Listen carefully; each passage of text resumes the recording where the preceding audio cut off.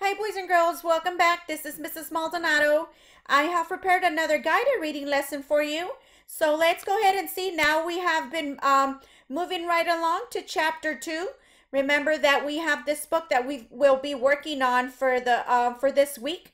Um, and we already yesterday we read chapter one. So today we are going to be uh, focusing on chapter two, and the title of that is Fish Features okay and that will be starting on page 10 okay so we have also uh, been reviewing our text features. This is our table of contents.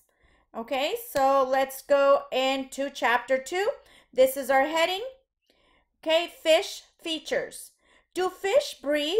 They do. Like you fish need oxygen. You get oxygen from the air. Fish get it from the water they use gills to do this. Gills are small openings on a fish's body. Okay, also, if you can notice this word gills, it stands out because another text feature, the word is bold. Okay, and down here in this in this uh, photograph, we see there are uh, labels.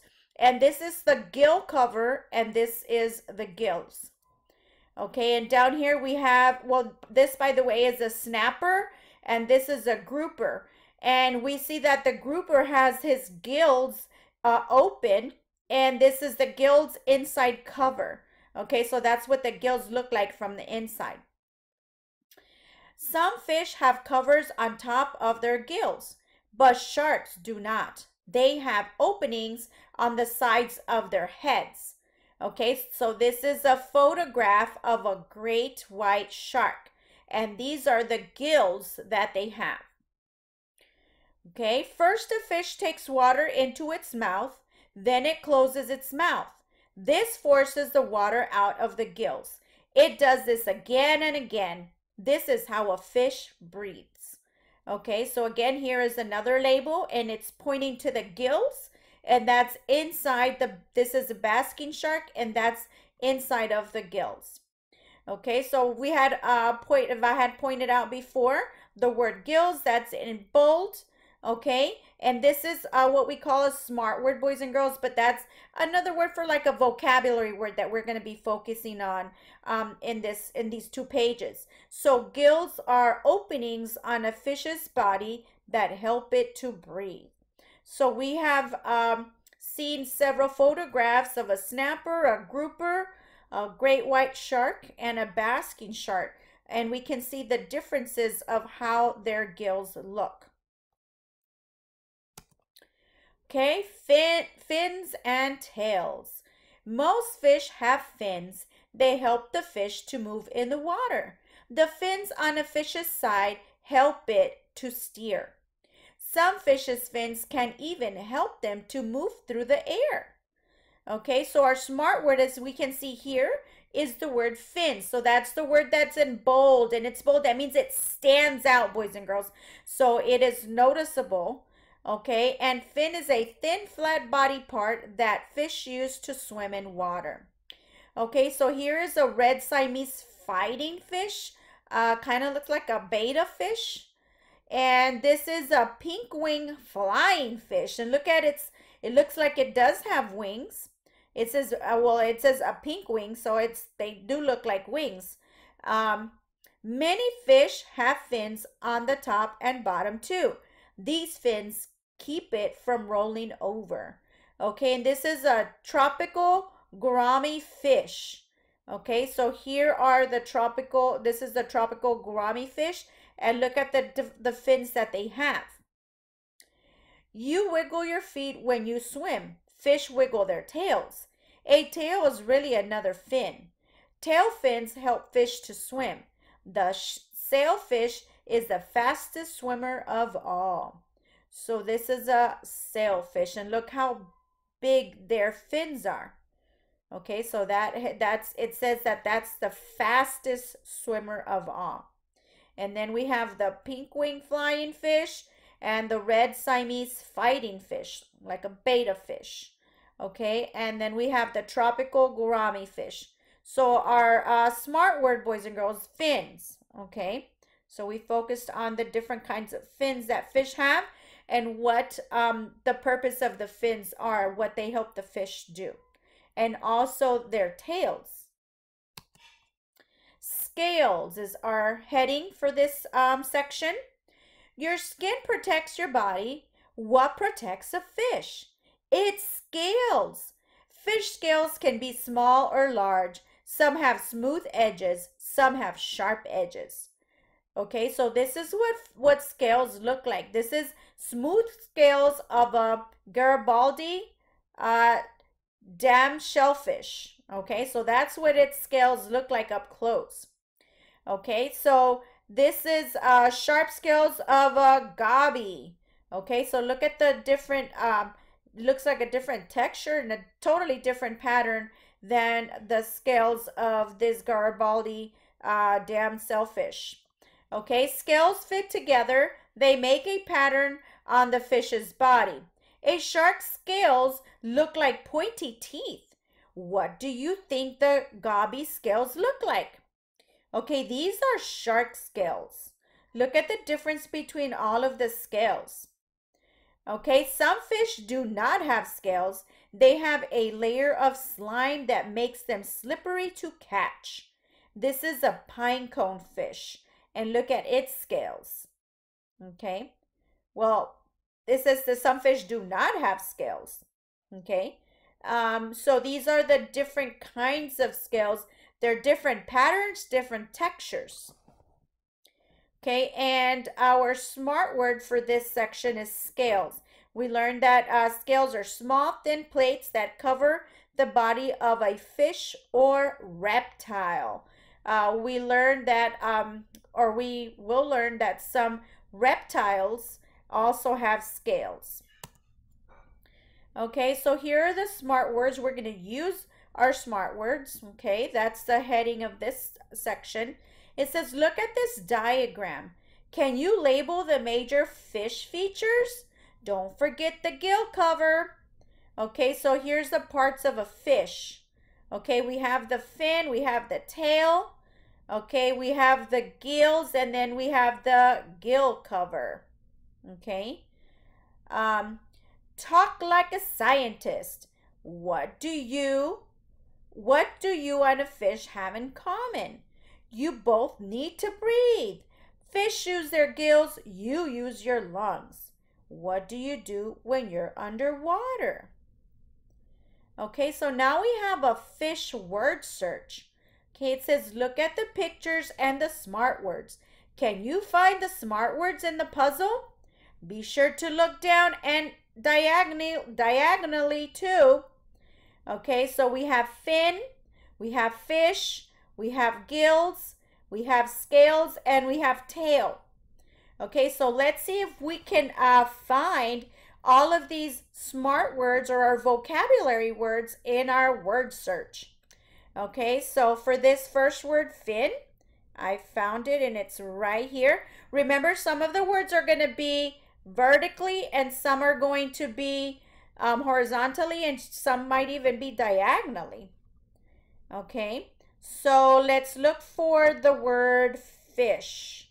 Let's see if we can find that word. Okay, and I found it and it's right here, F-I-S-H. We found the word fish. Now let's look for the word gills. Okay, and I've also um, spotted the word gills, G-I-L-L-S, gills. Okay, our next smart word is scales. Okay, and scales, boys and girls, that one is a tricky one. And I see it, and guess what? That's the word that is diagonally. Okay, so S-C a L E S. It goes all the way from the top all the way to the bottom. Okay, and uh, the last word that we have to find, our last smart word is tail. Okay, so we are going to look for the word tail. And I found it. It's right here, T-A-I-L, tail. Okay, so we have fin, a fish, and th these are gills, and scales, and tail. All right, boys and girls, you did an amazing job with those smart words. Okay, so now I have um, something that we are going to do that I'm sure you're going to enjoy. And this is um, how to make an origami fish. Okay, so let's go back. And I want you to get a piece of paper, boys and girls. And but this piece of paper that I want you to get, okay, it's a regular size of paper. So let me show you what I'm talking about. Okay, so you're going to get a regular size of paper just like this. Uh, it could be a page, a page of a notebook, but I want you to fold it. Okay, I want you to fold it like this. Okay, because they're going to use a square. Okay, so fold it like this, like a square. And this piece that you have that you have left over, cut that piece off. Okay, this extra piece that you have left over. So you're only going to have the piece that um, so if I was gonna cut this this piece I would cut this piece off that I'm gonna fold up okay? That's how much I'm gonna cut out of my paper okay? This piece that I folded up is what's left over. When I folded the paper I'm only gonna cut up to here. So when I open my piece of paper it's going to be a perfect square okay? Remember this extra piece that I did not use, I'm going to cut off, okay? Or um, you can tear it off. Usually when, if you don't have scissors at home, boys and girls, if you keep on folding it and then you try ripping it, sometimes it's easy for you to rip and it rips straight across, okay? So you can also do that, okay? Um, so it mine didn't go straight straight, but you can also do that and use that. So now you'll just have your square.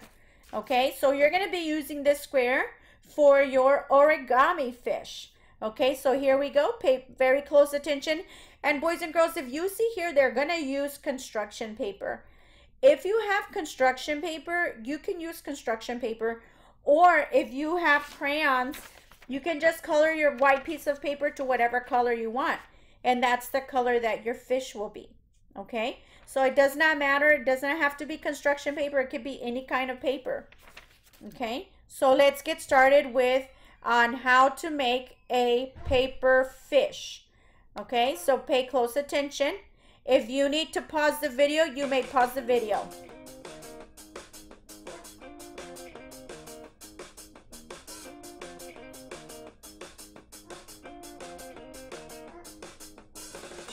So that's the square that I was telling you about. And that's a diagonal line. Okay, you're to fold it over. So your square, fold it over like that. Okay.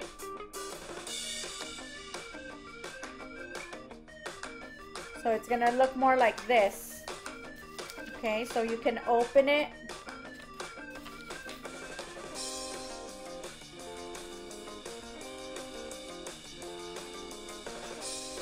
So remember, you're folding the paper like this. Okay, now they opened it and the line is up. Okay, so now you're to bring this piece up like this.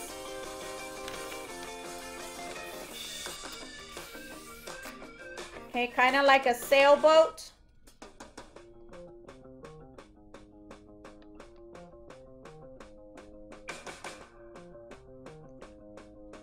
Okay. Then we open it up again and we have kind of like an X here. A crease.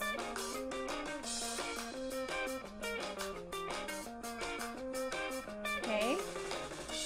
Now we're going to fold it again. We're going to fold it in half now. Okay, kind of like a hot dog fold. Okay, fold it like this.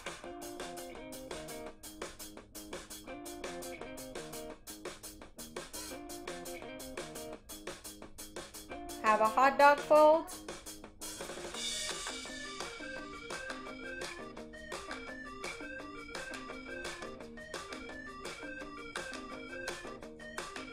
Okay? Then, then you're gonna fold it again, okay, in half. Okay, you're gonna fold it like this. Okay, remember it's like this. Now you're gonna fold it all the way up. Just like that. There you go. So now you have a small square.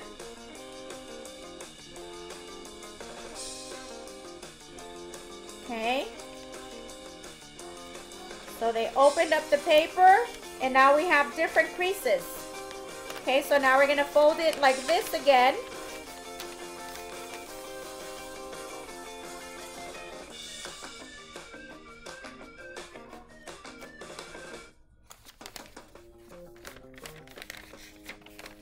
Okay, now they're folding it like this. Okay, and again like this. So we have another small square again.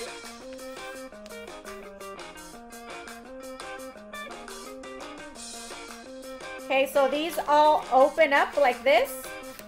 Okay, they should open up like this. And you see how it's, she's got, okay, so this page, this side, you're gonna open it up and kind of make like a, another sailboat again. Just like that.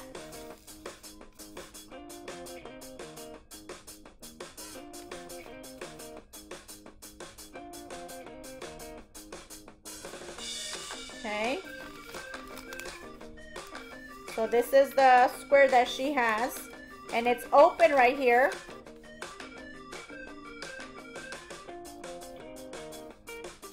So this, she wants us to open. Okay, remember it has the creases already. So we're gonna do just like this. Okay, we're gonna have a triangle. So it kind of opens from one side and it opens from the other side. And we have a triangle. Okay, so now she's talking about the crease here. So we're gonna put this side down. Well, not all the way, just halfway. So we're gonna fold it just like that. Oh, and then we're gonna fold it one more time. So I'm gonna turn it around so I can fold it. We're gonna fold it again. So I folded one, two times. Okay. So now it can open. Okay, so now there she's talking about the crease. Okay, so now we're gonna do the other side.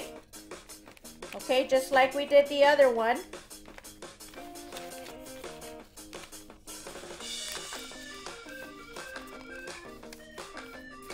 Okay, which is this side. Okay, and probably what I'm doing doesn't look too clear. So just pay attention to what she's doing on the screen, boys and girls. Because my picture's smaller, her picture's bigger. And you can see the creases a lot better. Okay, so that's folding it over. Okay.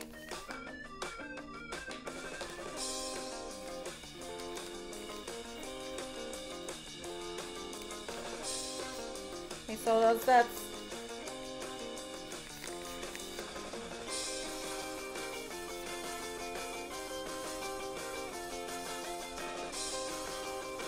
Okay, so that's the fish.